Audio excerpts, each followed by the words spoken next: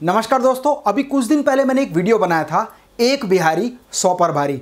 एक दिन में उस वीडियो को पाँच मिलियन लोगों ने देखा, लाखों लोगों ने शेयर किया और हज़ारों लोगों ने मुझे कमेंट करके एक बात कही कि, सर, कुछ बुद्धिजीवी लोग वेस्ट बंगाल को गरीब और भिकारियों का राज्य बताते हैं। कृपया इस बारे में एक ज़रूर वीडियो बनाएँ। भारत एक ऐसा देश है जहाँ हर 100 किलोमीटर पर भाषा और हर 20 किलोमीटर पर बोली बदल जाती है। वैसे तो हमारे देश में हर राज्य की अपनी अलग खासियतें हैं। ऐसा ही एक राज्य है पश्चिम बंगाल, जिसकी खासियत पूरे विश्व में प्रसिद्ध है। एक मशहूर कवि ने कहा, बांग्ला मोदेर भाषा, बांग्ला मोदेर आशा, बांग्ला मोदेर गौरबो बांग्ला ही मेरी भाषा है, बांग्ला ही मेरी आशा है और बांग्ला ही मेरा गौरव है। पश्चिम बंगाल भारत के पूर्व में स्थित है, जो दक्षिणी हिमालय से बंगाल की खाड़ी तक फैला हुआ है और पश्चिम बंगाल की सीमा पाँच राज्यों से लगती है।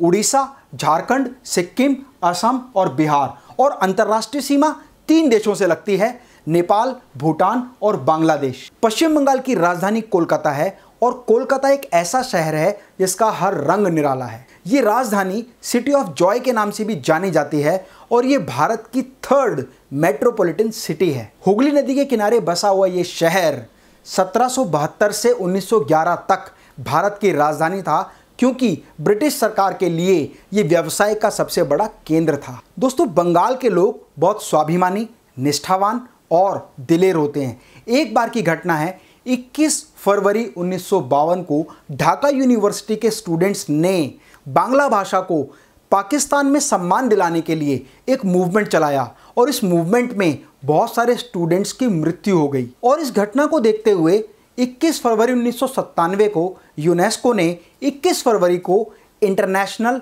मदर लैंग्वेज डे घोषित कर दिया। और एक बात कही जाती है कि बंगाल के लोग किसी भी जगह रहें, वो अपने घर में बंगाली लैंग्वेज ही बोलते हैं और अपने बच्चों को भी बंगाली ही सिखाते हैं। ये है भाषा से असली प्यार। आपको ये जानकर हैरानी होगी कि बंगाली लोगों का भाषा के प्रति प्यार होने की वजह से पूरे विश्व में, जैसे India, Bangladesh, Pakistan, China, Japan, Philippine, Thailand, Germany, USA, Britain, इन सभी देशों में बांग्ला भाषा के रेडियो स्टेशन हैं और यहाँ पर बंगाली न्यूज़पेपर हमेशा मिलता है।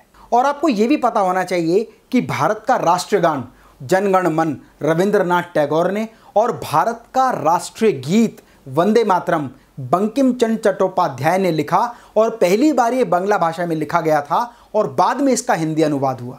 देश में सबसे ज़्यादा नोबल पुरस्कार पाने वाले लोगों का जन्म भी बंगाल में हुआ है। इसके अलावा बंगाल के लोग अलग अलग क्षेत्र में महारत हासिल कर चुके हैं। जैसे कवि, चित्रकार, कलाकार, गीतकार, संगीतकार, साहित्यकार और बड़े बड़े विद्वान लोग बंगाल से हैं।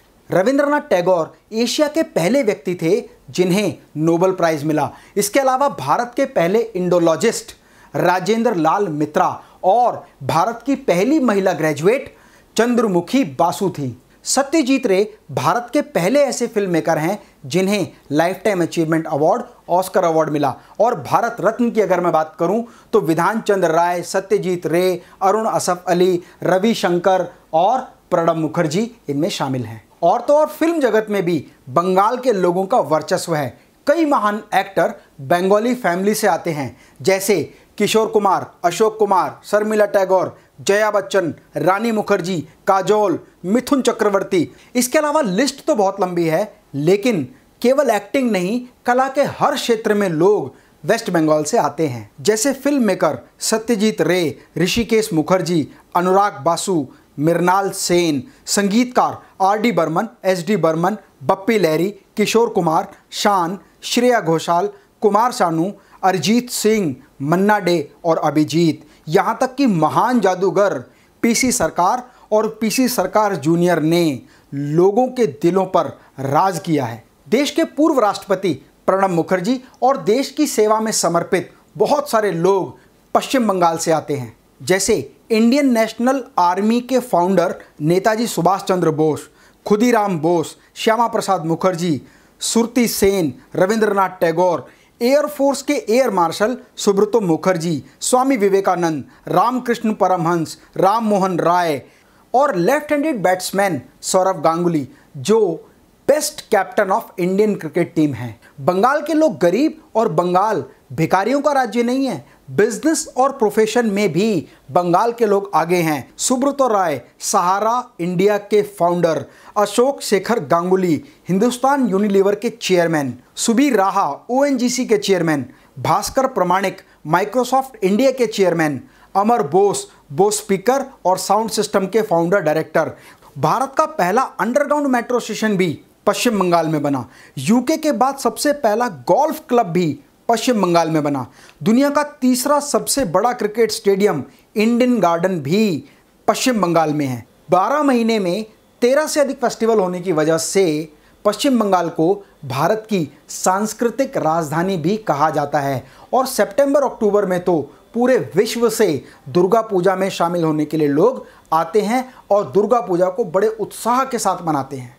ट्राम की सवारी हो या हुगली नदी में नाव की सवारी, सब कुछ बहुत अद्भुत है।